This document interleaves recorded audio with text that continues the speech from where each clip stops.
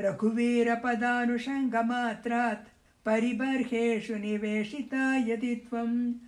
अधिकारदिने कथं पुनस्ते परिवारासव पादुके बभूवुः।